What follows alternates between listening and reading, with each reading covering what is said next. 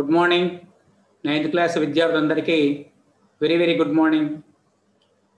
ముందుగా నా పేరు రామినేని వెంకటయ్య స్కూల్ అసిస్టెంట్ సాంఘిక శాస్త్రము జడ్పిహెచ్ తిరుమలగిరి గుంపుల చివెమల మండలము సూర్యాపేట జిల్లా.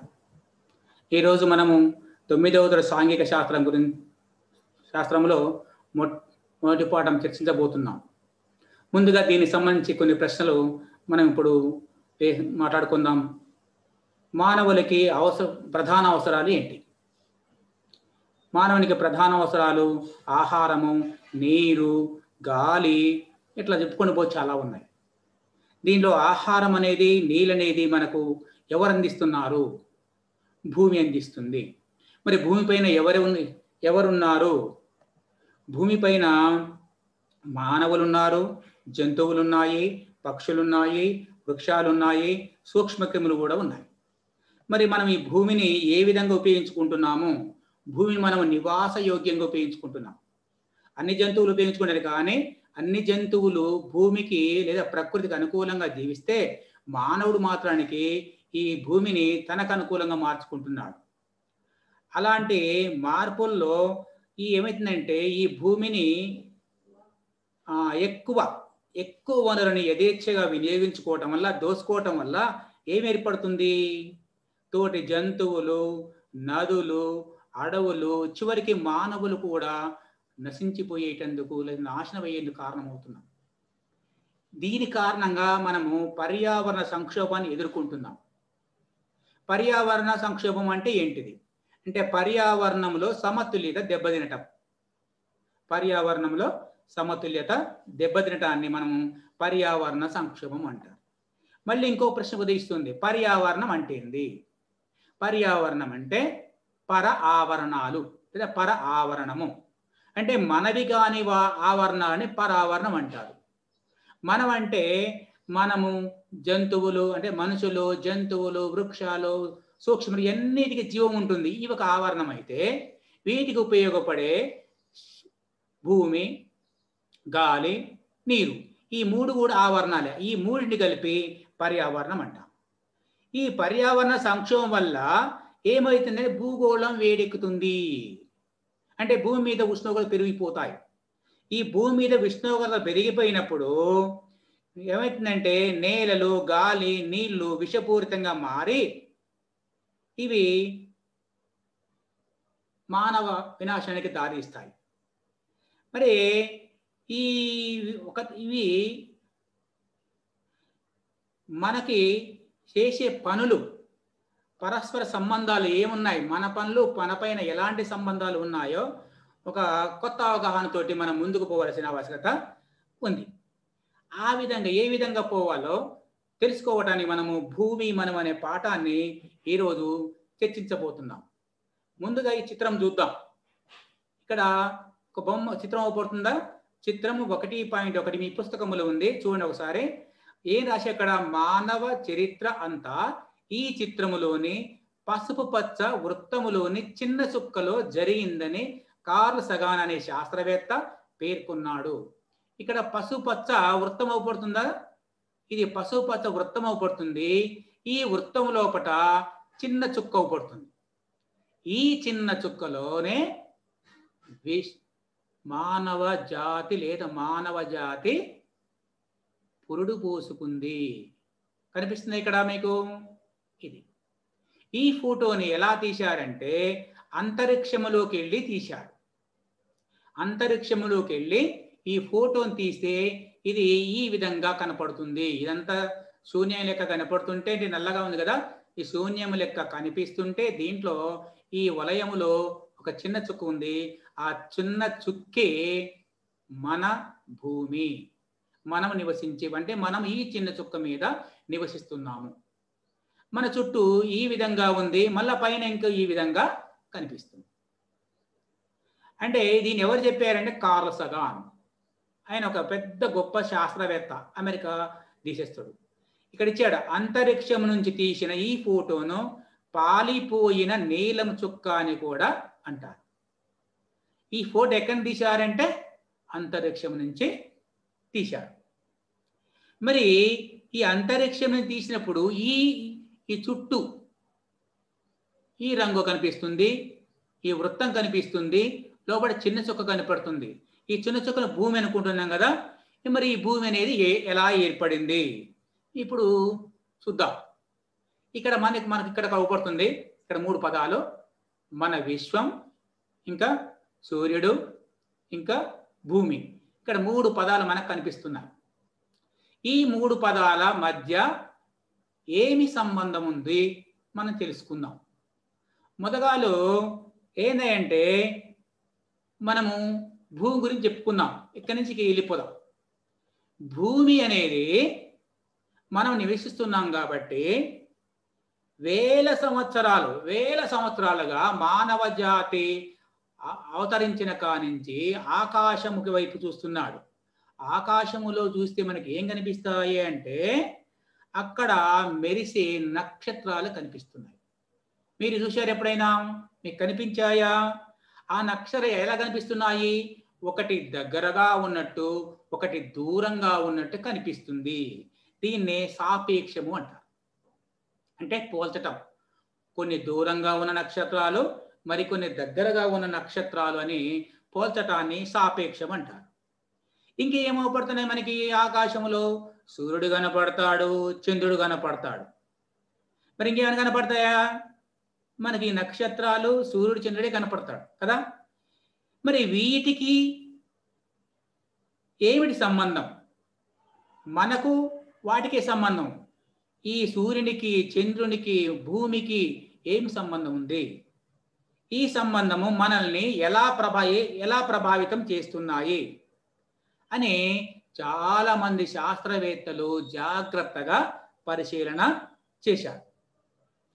ముందుగా ఇక్కడ చూస్తే మన భూమి మొదట్లో భూమి చలనం లేకుండా స్థిరంగా ఉందని మిగిలినవన్నీ భూమి చుట్టూ తిరుగుతున్నాయని భావించారు. మనం కూడా అలాగే భావిస్తాం. ఎలా?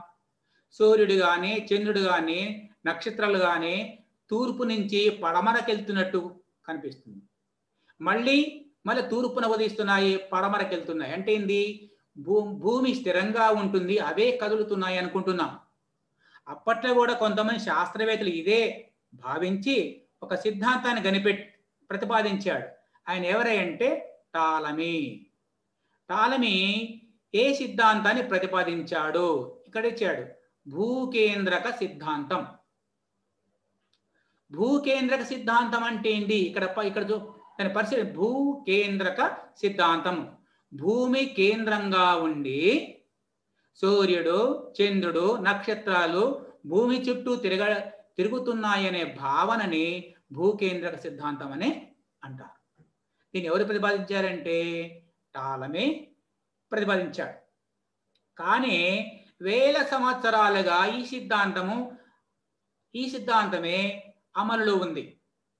కానీ ఒక ఐదు వందల సంవత్సరాల క్రితం నుంచి ఈ సిద్ధాంతము కన్నా మరి ఒక సిద్ధాంతము సరైనది ఈ సిద్ధాంతము సరైనది కాదు అని చెప్పి ఒక కొత్త ప్రతిపాదనకి అవకాశము ఏర్పడింది. ఒక అవగాహనకు వచ్చారు. ఏంది? భూమి విశ్వములో మధ్యలో లేదు. భూమి మధ్యలో లేదు. ఒక పక్కకుంది. భూమి మధ్యలో లేకుండా భూమి అనేది వాస్తవానికి సూర్యుడి చుట్టూ తిరుగుతున్నాడు. సూర్యుడి చుట్టూ తిరుగుతుంది. అంటే సూర్యుడేమో మధ్యలో స్థిరంగా ఉన్నాడు. భూమిని భూమి సూర్యుని చుట్టూ తిరుగుతుంది. దీన్ని ఏమంటారంటే సూర్య కేంద్రక సిద్ధాంతం అంటారు సూర్య కేంద్రక సిద్ధాంతం. అంటే ఏమిటి? సూర్యుడు కేంద్రంగా ఉండి సూర్యుని చుట్టూ భూమిలా భూమి కాకుండా భూమితో పాటు ఇంకా కొన్ని గ్రహాలు ఉన్నాయి ఇవన్నీ తిరుగుతున్నాయి. దీనిని సూర్య కేంద్రక సిద్ధాంతం అని అంటారు. ఇది ఎవరు చెప్పారంటే కోపర్నికస్. కోపర్నిక సిద్ధాంతాన్ని ప్రతిపాదన చేశాడు. మరి ఇవన్నీ ఎన్ని నక్షత్రాలు కానీ భూమి కానీ ఇతర గ్రహాలు కానీ చంద్రుడు అనే ఉపగ్రహాలు ఎన్ని మొదట ఉన్నాయా అంటే మొదట లేవు. మధ్యలోనే జన్మించాయి. మధ్యలో పుట్టాయి. ఈ మధ్యలో పుట్టేవి పెరుగుతున్నాయి. పెరిగి పెరిగి ఏమైతే చివరికి ఇవి చనిపోతాయి. కొన్ని కొన్ని కొన్ని సంవత్సరాల తర్వాత ఇవి చనిపోతాయన్న భావనకి వచ్చారు. ఇలా రెండు సిద్ధాంతాలు సూర్యకేంద్ర సిద్ధాంతము మరియు భూకేంద్ర సిద్ధాంతం రెండు సిద్ధాంతాలు వచ్చి ఈ భూకేంద్ర సిద్ధాంతము తప్పు అని సూర్యకేంద్ర సిద్ధాంతము రైట్ అనే భావంలోకి వచ్చారు. ఇంకా భవిష్యత్తు ఏం జరగబోతున్నాయి అనేది ఇంకేం జరుగుతుంది తెలుసుకుంటారు. మరి నక్షత్రాలు సూర్యుడు అనేది ఒక నక్షత్రం కదా. సూర్యుడు ఒక నక్షత్రం. ఇలాంటి నక్షత్రాలు ఎన్నో ఉన్నాయి. కొన్ని కోట నక్షత్రాలు ఉన్నాయి. ఈ నక్షత్రాలు ఎక్కడ ఉంటాయంటే నక్షత్రాలన్నీ కూడా గెలాక్సీలో ఉంటాయి. ఇక్కడ చూడండి గెలాక్సీ. గెలాక్సీ ఇంకేమంటారు చూడండి ఇక్కడ? మిల్క్ వే లేదా పాలపుంత అంటారు. దీనిలో ఏముంటాయి? నక్షత్రాలు అంటారు ఉంటాయి. గెలాక్సీ అంటే ఏమిటి? అంటే నక్షత్రాల సముదాయమును గెలాక్సీ అంటారు. ఈ గెలాక్సీ అనే పదము గ్రీక్ పదం. గెలా అంటే పాలు అని అర్థం. పాలపుంత అంటే పాల రంగులో ఉన్న నక్షత్రాలు ఒక దగ్గర గుంపుగా ఉన్నాయి. దాన్ని మన పాల పుంత అంటారు. మన దేశంలో ఒక పేరుంది. ఆకాశం చూస్తే వేరే దేశం ఇంకో పేరు రకరకాల పేరుతో పిలుచుకుంటున్నారు. మరి ఈ గెలాక్సీలన్నీ ఎక్కడ ఉన్నాయి అంటే విశ్వములో ఉన్నాయి. విశ్వం అంటే ఏమిటి? అంటే గ్రహాలు భూమి భూమితో పాటు ఉన్న గ్రహాలు ఉపగ్రహాలు నక్షత్రాలు మరియు గెలాక్సీలను అన్నిటిని కలిపి ఏమంటారంటే విశ్వం అంటారు మరి ఈ విశ్వము ఎప్పుడు ఆవిర్భవించింది? ఇక్కడ చూడండి. మన విశ్వము పదమూడు వందల డెబ్బై కోట్ల సంవత్సరాల క్రితము పెద్ద విస్ఫోటనముతో ఆవిర్భవించింది. చూసారా ఇక్కడ అర్థమైంది ఇక్కడ? అంటే విస్ఫోటనము ఎప్పుడు ఆవిర్భవించింది అంటే పదమూడు వందల డెబ్బై కోట్ల సంవత్సరాల క్రితం. మరి పెద్ద విస్ఫోటనం అంటే పెద్ద శబ్దం అనుకుంటున్నామా? పెద్ద శబ్దము కాదు. ఇది విస్ఫోటనం అంటే విస్తరణ. పెరుగుతూ పోవటం అని అర్థం. ఏం పెరుగుతూ పోతాయి? ద్రవ్యరాశి ఉష్ణోగ్రత. ద్రవ్యరాశి పెరుగుతుంది ఉష్ణోగ్రత పెరుగుతుంది. ఉష్ణోగ్రత అంటే పెరగటం అంటే ఎక్కువ కావటం కాదు విస్తరిస్తుంది. ఉష్ణోగ్రత విస్తరించినప్పుడు ఆ ఉష్ణోగ్రత ఆ, పోతా ఉంటే ఎక్కువ స్థల ఎక్కువ స్థలాన్ని ఆక్రమించినప్పుడు అది బలహీనమైపోతుంది. ద్రవ్యరాశి కూడా విస్తరించింది అన్నప్పుడు అది కూడా ద్రవ్యరాశి పలసనైపోతుంది. అలా అలా కాలం ఎంతో కాలం విస్తరించినప్పుడు అది ఎంత కాలం ఉంటుంది చెప్పలేం. అలా ఆ కాలానుగుణంగా మార్పు పెరుగుతూ పోతుంది. దీన్ని విస్ఫోటనం అనే అంటారు. విస్ఫోటం అంటే శబ్దం అనే కాదు. ఇక్కడ ఇంకోటి చూడండి ఇక్కడ. ఊహించని మార్పు ఆరంభమై సుదీర్ఘకాలం కొనసాగుతూ ఉండటాన్ని పెద్ద విస్ఫోటనము అంటారు. దీని ఇంకో పేరుంది మహా విస్ఫోటనము ఇంకో పేరుంది మహాప్రళయము. ఇంగ్లీష్లో బిగ్ బ్యాంక్ అంటారు అయితే ఇక్కడ చూడండి. అంటే సైంటిఫిక్ శాస్త్రీయ పరంగా చెప్పుకోవాలంటే ఇక్కడ ద్రవ్యరాశి ఉష్ణోగ్రత రెండు కూడా. ద్రవ్యరాశి ఉష్ణోగ్రత కాలం. మూడు కూడా విస్తరించటాన్ని పెద్ద విస్ఫోటనం అని అంటారు. ఇవి విస్తరిస్తూ పోతున్నాయి విస్తరించిపోతున్నాయి. ప్రతి క్షణం ఎన్నో మార్పులు జరుగుతున్నాయి. ఈ ఎన్నో మార్పులు సంభవించటం వల్ల ఇక్కడ ఏమైతే అంటే కొన్ని సంక్లిష్టమైన విషయాలు ఏర్పడ్డాయి. ఏంటి? ఆ సంక్లిష్టమైన విషయ విషయాల గురించి మనము తెలుసుకునే ప్రయత్నము చేద్దాము. ఇవి విశ్వములో మార్పులకు ఎన్ని వేల వేల లక్ష సంవత్సరాలు పడుతున్నాయి. ఒకేసారి మార్పు జరగట్లే. మార్పు అనేది నెమ్మదిగా జరుగుతుంది. ఇప్పుడు ఇక్కడ చూద్దాం. ఇక్కడ భూమి ఒక గ్రహం. ఇక్కడ దీన్ని చెప్పకపోయే ముందు ఒక చిన్న ఎగ్జాంపుల్ మీకు ఇస్తాను. ఇక్కడ మన విశ్వం గురించి ఒక చిన్న ఎగ్జాంపుల్ ఏంటంటే మనం ఎక్కడైనా ఒక పండగ పూట చిచ్చుబుడ్డినికి అంటే ఒక ద్రవ్యరాశి ఉంటుంది. దాన్ని మనము ఉష్ణాన్ని అందజేసినప్పుడు ఒక మంటని అందించినప్పుడు అది ఏమవుతుంది దాని యొక్క మార్పు మొదలయ్యి కొంతసేపు అయినా మార్పు అంతమైపోతుంది. అది తక్కువ సమయంలో విస్ఫోటనం అంటారు కానీ ఇక్కడ మనం చెప్పుకునేది అంటే ఈ విస్ఫోటనం ఎప్పుడో మొదలైంది కానీ ఇంకా కొనసాగుతూనే ఉంది. ఎంతకాలం కొనసాగుతుందో చెప్పలేము ఈ విశ్వములో మనము భూమి ఒక భాగము. ఆ భూమిలో మనం కూడా ఒక భాగము. అయితే భూమి అనేది ఏంటిది? భూమి అనేది ఒక గ్రహం. భూమి అనేది ఏంటిది? ఒక గ్రహం. ఇక్కడ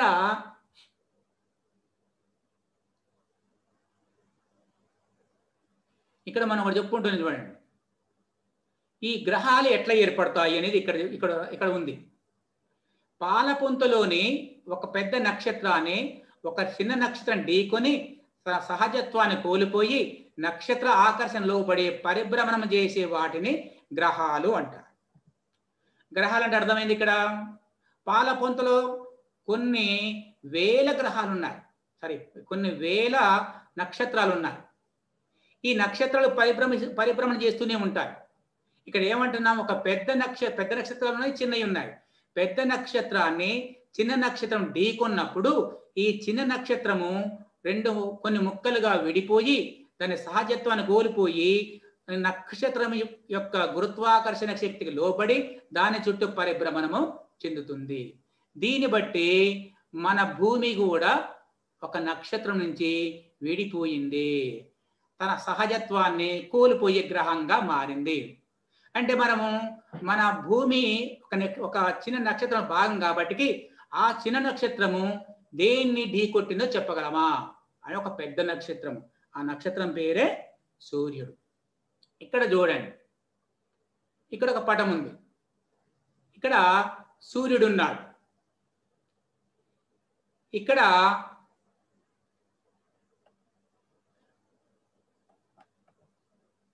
ఇక్కడ భూమి ఉంది. ఇక్కడ సూర్యుడు ఉన్నాడు ఈ భూమి తన సహజత్వాన్ని కోల్పోయి ఈ సూర్యుని గురుత్వాకర్షణ లోబడి ఇలా తన చుట్టూ సూర్యుని చుట్టూ తిరుగుతుంది. కనిపిస్తుందా? మీ పుస్తకంలో కూడా ఉంది. ఇది. ఈ మార్గం మించి తిరుగుతూ ఉంది. ఇది మార్గం. ఇది ఎవరు తిరిగే మార్గం ఇది? భూమి తిరిగే మార్గం. ఎవరి చుట్టూ తిరుగుతుంది? సూర్యుని చుట్టూ తిరుగుతుంది. ఈ భూమి ఇక్కడ ఉంది భూమి. భూమి ఇలా తిరుగుతుంది. ఈ భూమి తిరిగే మార్గాన్ని ఏమంటారంటే కక్ష. ఏమంటారు? కక్ష. కక్ష అనగానేమి? భూమి తన అక్షంపై తిరుగుతూనే ఒక నిర్ధారిత మార్గములో సూర్యుని చుట్టూ తిరుగుతుంది ఈ మార్గాన్ని కక్ష అంటారు. రెండవది అది ఒక తలంలో తిరుగుతుంది. ఆ తలాన్ని ఏమంటే కక్షా తలం అంటది. ఇక్కడ ఉంది చూడండి ఇది కక్షా తలం ఇదంటే ఏంటది? కక్ష తలం మనకి ఇప్పుడు కక్ష చెప్పుకున్నాము కక్షతలము సూర్యుడు భూమి ఇది ఏ ఆకారములో ఉంది? వృత్తాకారములో ఉంది. ఆ తర్వాత ఇక్కడ చూసుకుందాం. ఇక్కడ ఇంకో పటం ఇచ్చాం. ఇక్కడ కూడా కక్ష ఉంది. ఇది కక్షాతలం ఉంది. ఇక్కడ కక్ష ఆకారములు ఉంది దీర్ఘ వృత్తాకారములో కనిపిస్తుందా? దీర్ఘ వృత్తాకారంలో ఉంది. అయితే ఇంకొకటి మూడో పటం చూసుకుందాం. ఈ మూడో పటంలో మూడో పటం చూడండి. ఇది కూడా ఎలా ఉంది? ఇది కూడా ఇటు వృత్తాకారం కాదు. ఇది ఇది వృత్తాకారం కాదు. అటు దీర్ఘ వృత్తాకారం కాకుండా ఉన్నది.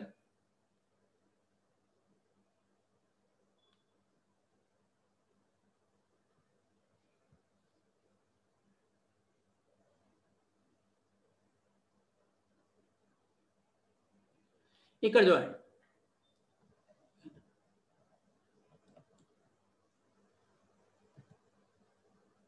ఇది మరి ఈ మూడిట్లో మనం మూడిచాం ఇది కక్ష చెప్పుకున్నాము ఇది కక్ష చెప్పుకున్నాము ఇది కక్ష చెప్పుకున్నాము మరి మనం ఎనిమిదవ తరగతి ఎనిమిదవ తరగతి చెప్పుకున్నాం. ఏం చెప్పుకున్నాము? సూర్యుని యొక్క ఉష్ణోగ్రత వ్యత్యాసాల వల్ల కాలాలు ఏర్పడుతున్నాయి. కాలాలు ఏర్పడుతున్నాయని చెప్పుకున్నాం.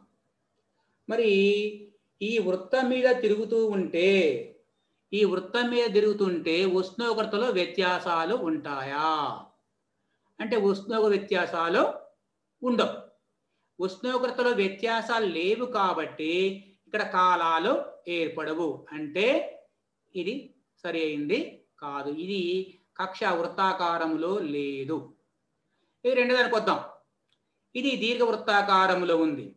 భూమి ఇక్కడ ఉన్నప్పుడు సూర్యుడు చాలా దూరంగా ఉంది. దూరంగా ఉన్నప్పుడు ఉష్ణోగ్రత తక్కువగా ఉంటుంది కదా? ఉష్ణోగ్రత బాగా తక్కువగా ఉన్నప్పుడు ఇక్కడ భూగోళం పైన భూగోళం పైన వేడి తక్కువగా ఉండటం వల్ల మంచు ఏర్పడే అవకాశాలు ఉన్నాయి. మరి భూగోళం మొత్తం మంచు ఏర్పడుతుందా? ఏర్పడతా లేదు. అలాగే ఇక్కడ దగ్గరకు వచ్చినప్పుడు భూగోళం మొత్తం ఒకే రకంగా వేడి ఉంటుందా? ఉంటా లేదు. కాబట్టి ఇది కూడా సరి అయింది. ఇక మూడు ఇక్కడికి వద్దాం.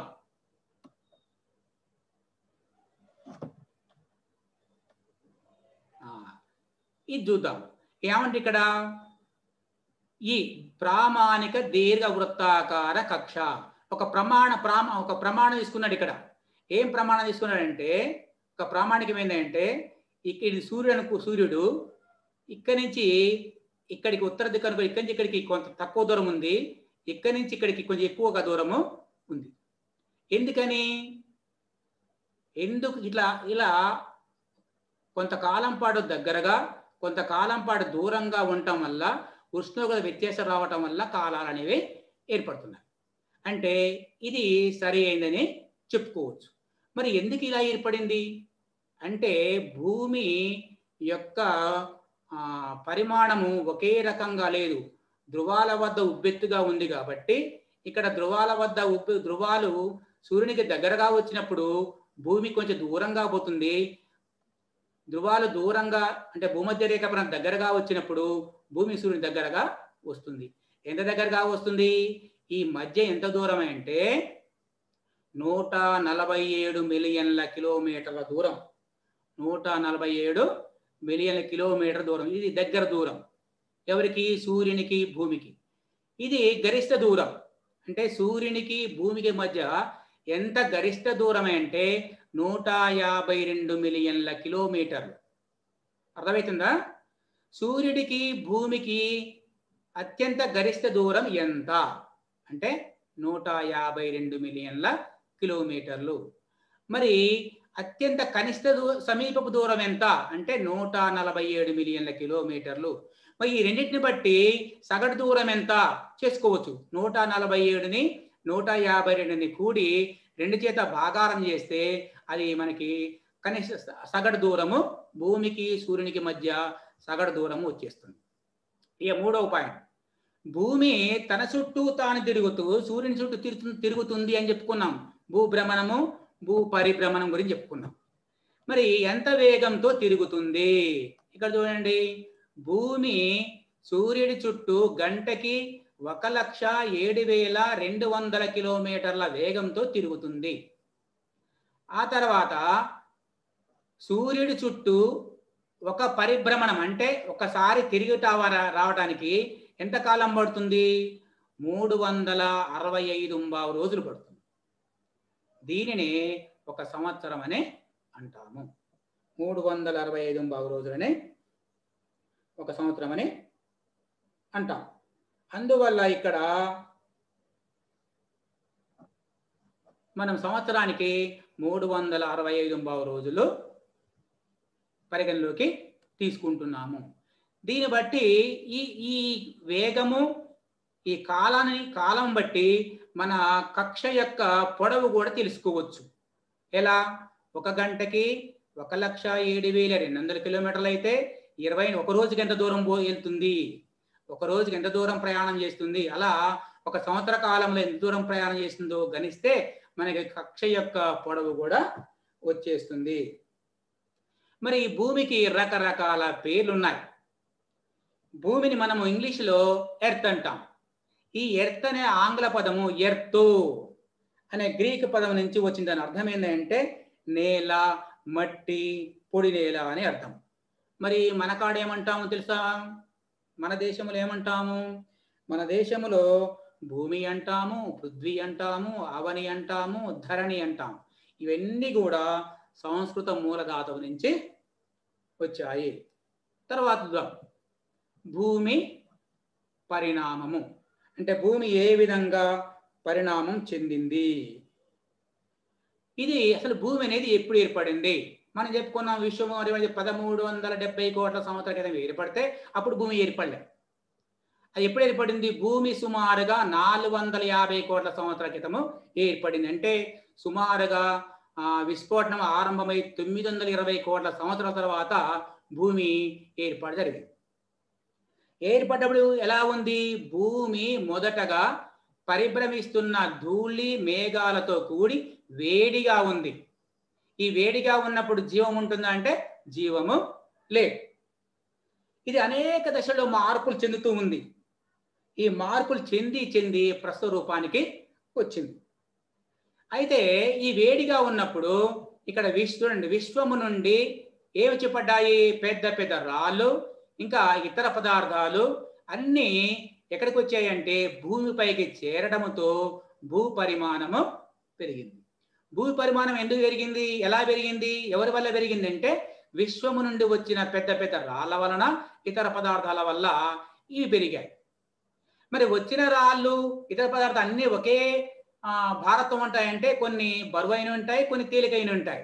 ఈ బరువైన పదార్థాలు ఇక్కడ చూడండి అత్యంత వేడి గల ఈ ద్రవములు అంటే ఈ క్రమంగా చల్లబడటం వల్ల ఈ వాయువు ద్రవంగా మారింది. ఈ ద్రవములు రాళ్ళు పడ్డప్పుడు ఆ బరువైన పదార్థాలు కిందికి వెళ్ళాయి తేలికైన పదార్థాలు పైన తేలి ఉన్నాయి. అర్థమవుతుందా? ద్రవం ఎందుకైందంటే విస్ఫోటనం విస్తరిస్తుంది కాబట్టి ఉష్ణోగ్రత విస్తరించినప్పుడు దాని యొక్క ఉష్ణోగ్రత బలహీన చెంది తగ్గు ఉష్ణోగ్రత తగ్గుతుందన్నమాట. తగ్గినప్పుడు ఈ వేడిగా ఉన్న వాయువులు ద్రవీభవనం చెంది ద్రవంగా మారి ద్రవం కూడా వేడిగానే ఉంది. ఆ తర్వాత ఏమైందంటే అనేక పదార్థాలు చేరటం వల్ల మన ఇంట్లో మనం సాంబార్ చేసుకుంటాం. సాంబార్ చేసుకున్నప్పుడు రకరకాల పదార్థాలు వేస్తాం. దాన్ని మరగబెట్టినప్పుడు దాంట్లో రక పై కింది మరిగినప్పుడు దాంట్లో బరువైన చల్లారితే బరువైన కిందికి పోతాయి తేలికైన పైకి వస్తాయి పైన ఒక తెట్టులాగా ఏర్పడుతుంది. ఆ మాదిరిగా ఈ భూమి పైన ఉన్న ద్రవ పదార్థము క్రమంగా సరే ఈ వేడిగా ఉన్న ద్రవం క్రమంగా చల్లబడుతూ కిందికి వెళ్ళటం వల్ల పైన పొర పైన ఒక పొర ఏర్పడింది. ఆ తర్వాత కింది భాగాన చల్లబడుతూ సంకోచనం చెందటం వల్ల ఏమైనాయంటే ఈ సంపీడ భూమి లోపల జరిగే సంకీ సంపీడనాల వల్ల కుంచుకుపోవటం వల్ల పై పొర ముడతలు పడి ఎత్తులు పల్లాలు ఏర్పడ్డాయి. లోపల ఆ సంకోచం చింతు వల్ల పై పొరలో మార్పు వచ్చాయి. మార్పు వచ్చి ఒక ప్రాంతం ఎత్తు వచ్చింది ఒక ప్రాంతము పల్లం ఏర్పడింది. అంటే భూమిపై పొరమ ఎత్తులు పొలాలు ఎందుకు ఏర్పడ్డాయని కారణం ఏంటంటే భూమి లోపల సంకోచం చెందింది. భూమి లోపల సంకోచం చెందిందంటే భూమి లోపల భాగం కూడా చల్లబడుతూ ఉండటం వల్ల. ఈ విధంగా చల్లబడుతున్నప్పుడు మేఘాలు వర్షించే స్థాయి ఏర్పడింది. ఈ మేఘాలు వర్షించటం వల్ల ఈ వర్షపు నీరు వల్ల భూమిపై పొరలోని పల్లపు ప్రాంతము ఆ వర్షపు నీటితో నిండి మహాసముద్రాలుగా ఏర్పడ్డాయి. ఈ మహాసముద్రాలుగా ఏర్పడి ఇక్కడ ఏమైంది రెండు భాగాలు ఏర్పడ్డాయి. ఈ నీటి ఎప్పుడైతే నీరు వచ్చిందో నీటితో పాటు అనేక వాయువులు కూడా ఏర్పడ్డాయి. ఈ వాయువులు ఏర్పడిన క్రమంలో ఈ జీవము ఆవిర్భవానికి అంకురము ఏర్పడింది. ఇట్లా లక్షల సంవత్సరాల పరిమాణ క్రమంలో జీవం సముద్రములో మొదలై మనుషులు మొక్కలు జంతువులుగా రూపాంతరము చెందాయి. ఆ తర్వాత ఏం జరిగిందో మనం రేపటి క్లాసులో చర్చించుకుందాం.